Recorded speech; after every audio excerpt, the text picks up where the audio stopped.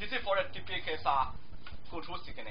This signal line, this is the piece of personal computer control unit, and I is a network interface equipment and control unit. So this is the signals are connected to the personal computer control unit and network interface component of the control unit.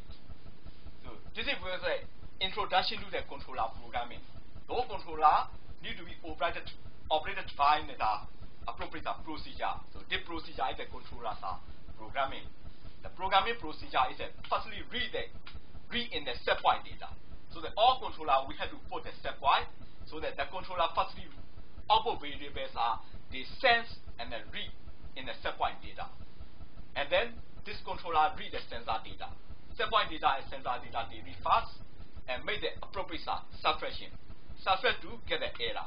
The difference between the sensor data and the stepwise data is error data. So this uh, depend on the error data is calculate. Calculate the new control signal for actuator.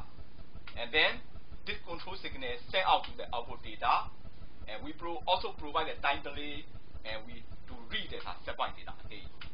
So the sampling rate depending on the time interval between the input readings. So then this is for the controller programming procedure. Uh, based on this lesson, you do the follow study I020, D11, 12,